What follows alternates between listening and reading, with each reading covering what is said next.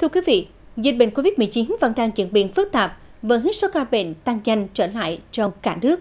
Tiêm chủng vaccine phòng COVID-19 vẫn là giải pháp quan trọng hiện nay.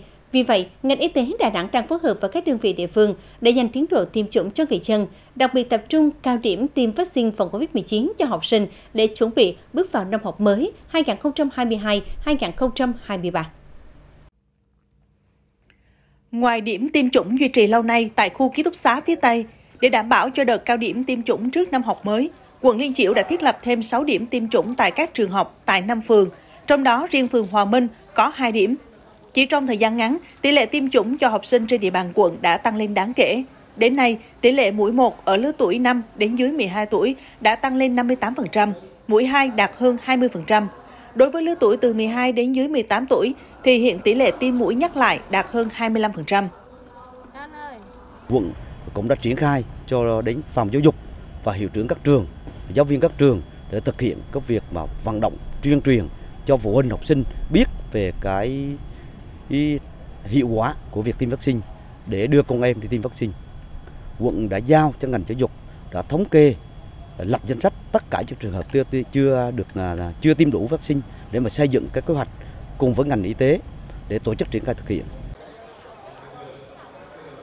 Cùng với Liên Chiểu, thì từ giữa tháng 8 đến nay, các quận huyện khác cũng đồng loạt phát động đợt cao điểm tiêm chủng cho người dân trên địa bàn.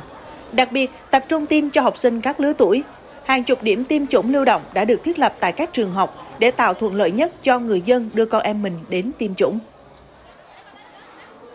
Ngành y tế cũng có việc tăng cường cái nhân lực từ các cơ sở y tế trong toàn ngành à, cho các điểm tiêm để đảm bảo cái việc tổ chức tiêm chủng theo đúng kế hoạch của ngành giáo dục cũng như các địa phương đồng thời là đảm bảo cái việc tiêm chủng an toàn à, theo các quy trình tiêm chủng đã được Bộ Y tế quy định. Trung tâm y tế quận Liên Chiểu bố trí mô hình tiêm chủng theo đầy đủ. Thứ nhất khai báo y tế đúng đúng đối tượng mà được tiêm.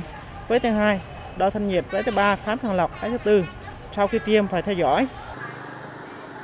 Để phụ huynh chủ động đưa con em đi tiêm chủng, các địa phương đã đẩy mạnh công tác truyền thông về diễn biến phức tạp của dịch bệnh và lợi ích của vaccine trong phòng chống COVID-19 đối với trẻ nhỏ. Qua đó, tỷ lệ tiêm chủng cho trẻ đã tăng lên rõ rệt. Đến nay, tỷ lệ mũi 1 ở nhóm từ 5 đến dưới 12 tuổi đã tăng lên 52,3%, mũi 2 đạt 20% và mũi nhắc lại ở nhóm từ 12 đến dưới 18 tuổi cũng tăng lên hơn 27%.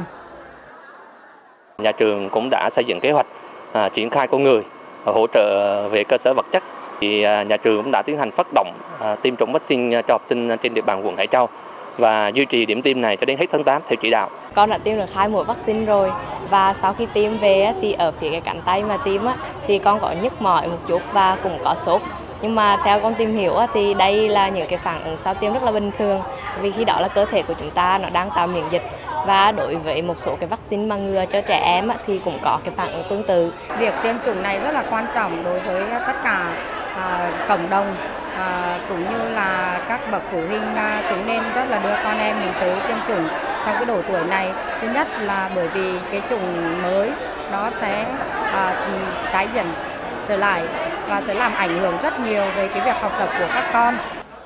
Thống kê của Bộ Y tế cho thấy số ca mắc COVID-19 hiện đang tăng nhanh và ghi nhận thêm nhiều biến chủng mới. Trước tình hình đó, Thành ủy Đà Nẵng cũng đã chỉ đạo các đơn vị địa phương tập trung chỉ đạo đẩy nhanh tiến độ tiêm chủng phòng COVID-19. Chủ tịch Ủy ban Nhân dân thành phố cũng đã có công điện yêu cầu tăng tốc tiêm chủng, nhất là đối với học sinh. Với mục tiêu, đến hết tháng 8 có ít nhất 70% trẻ từ 12 đến dưới 18 tuổi tiêm mũi 3 và 70% trẻ từ 5 đến dưới 12 tuổi tiêm mũi 1. Đây là điều kiện quan trọng để đảm bảo thích ứng an toàn cho năm học mới 2022-2023 sắp khai giảng.